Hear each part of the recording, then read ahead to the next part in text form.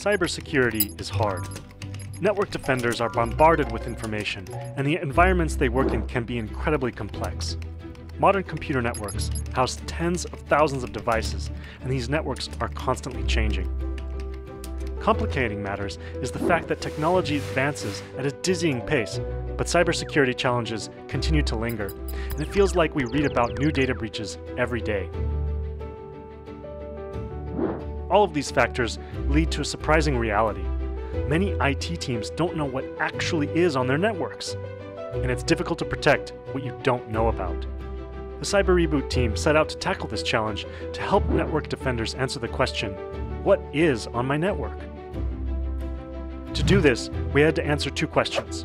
One, how can we collect and analyze information about a network in real time?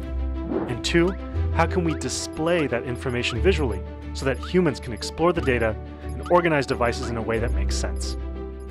To address these problems, we released two open source projects that work together a network analysis tool called Poseidon and a browser based visualization tool called CRViz. Let's start with Poseidon.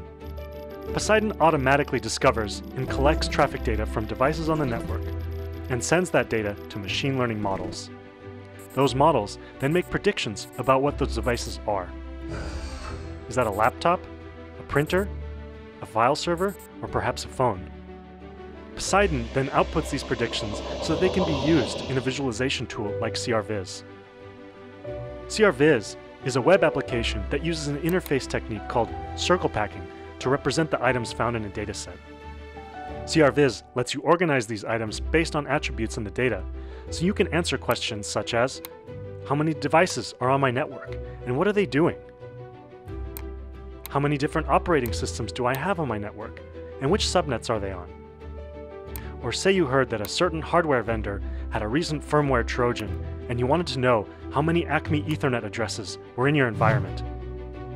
CRViz and Poseidon were designed to work together, but can be run independently. We want to empower defenders to make their jobs easier, and we encourage you to download these projects and try them for yourself. We're IQT Labs, doing research for the common good.